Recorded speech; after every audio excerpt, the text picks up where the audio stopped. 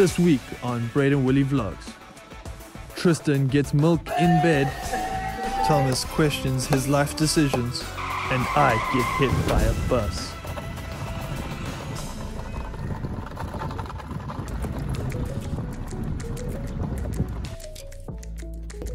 I'm sweating really bad right now. I think most of the sweat is just pure vodka. It's been a hard week. This past week we started uh, working from 5 a.m. because the afternoons are just too hot. So we start from 5 a.m. and we finish 12.30, 1, about lunchtime. Due to a recent sandstorm, we were having to uh, remove trees from places and uh, yeah, that wasn't much fun.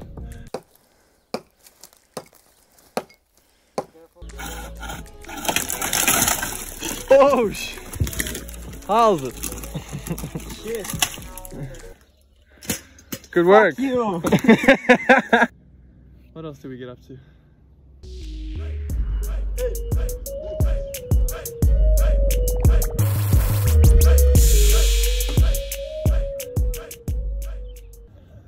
Can't get over how beautiful this place is.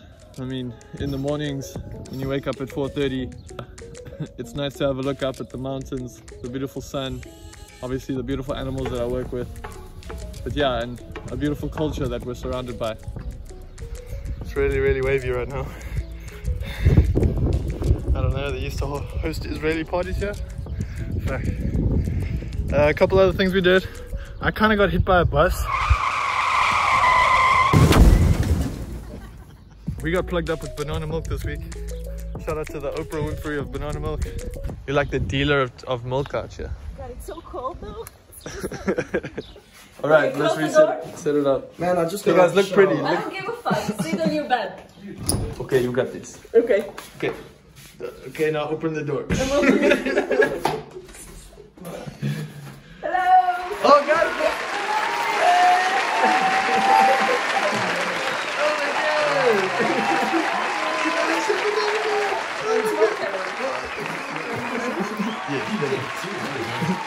Oh my god.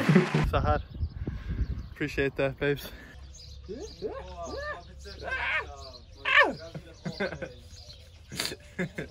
you know, my rugby coach told me to never shovel shit. Well, Mr. Black, you can be proud. I feel like Sia and Mateo right now.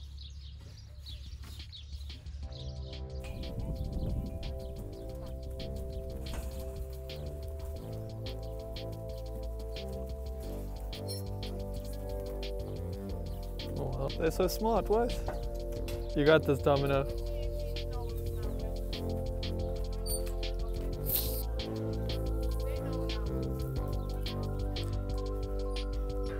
Wrong stable. Move.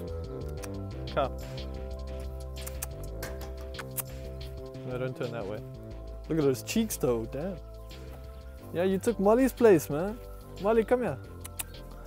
Good horse.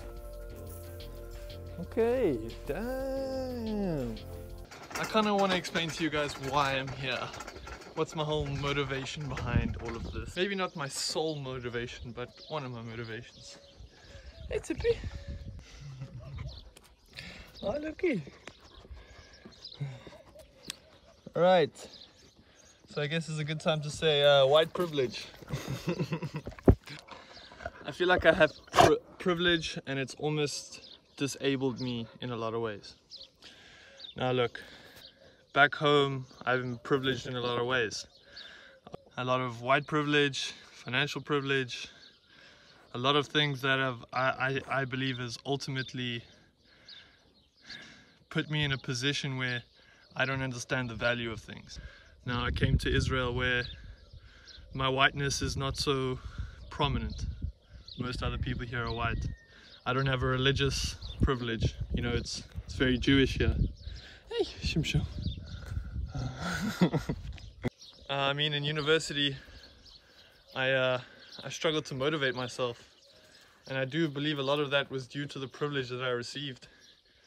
I was almost stuck mentally in a place where I believed I had achieved everything I needed to. I kind of wanted to refresh my value system.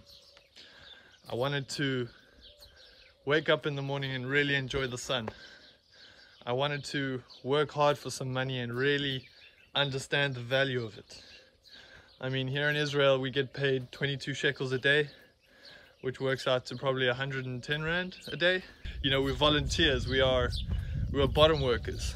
I'm not trying to take anything away from the experience or who we are, but you know, I'm at the bottom of the social food, chain. And that's what my goal was ultimately. I wanted to relearn a lot of things. I don't know, hopefully you guys can understand what I mean. So part of this journey, part of this experience is stripping myself down of all the privilege that I can. I mean, inherently I can't get rid of my whiteness, I can't get rid of my masculine, my masculine privilege. But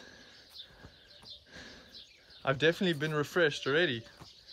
And uh, after officially two months here, I've learned a lot of uh, more about myself in the last two months than I have in the two years before that. But I want to come back, you know, feeling appreciative, understanding that my parents worked hard for what they can give me, and that if I want things, I will have to work hard myself. It was just all a mentality thing. I mean, I understand that there are people who are suffering, and I'm definitely not someone who suffered. But uh, yeah, it just it put me in a mental block almost. The reality is, I'm working on a farm. I uh, I appreciate things around me a lot more. I mean, I'm become better at saving. I uh, I definitely enjoy the mornings a lot more. Oh shit. and yeah, it's a lot easier to work nowadays.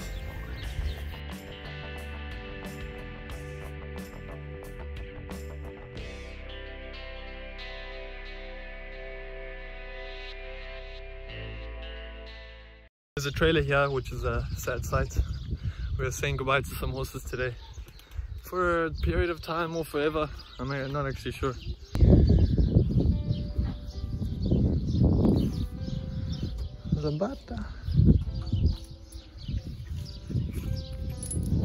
So we're taking Mary and Lambada, and Mary has to say goodbye to her son Karanov. And that's going to be pretty sad to see.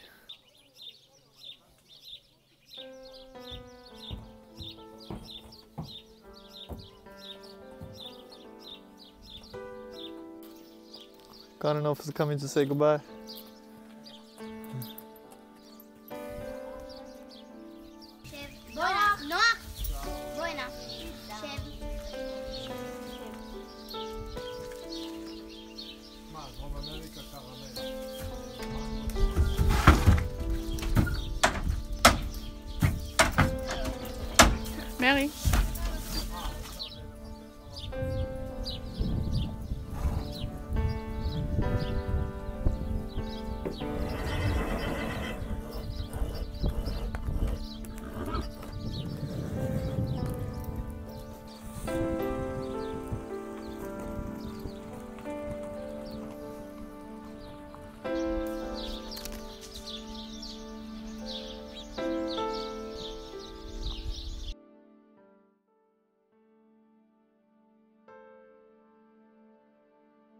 Look at all the kittens. Thanks for watching the vlog.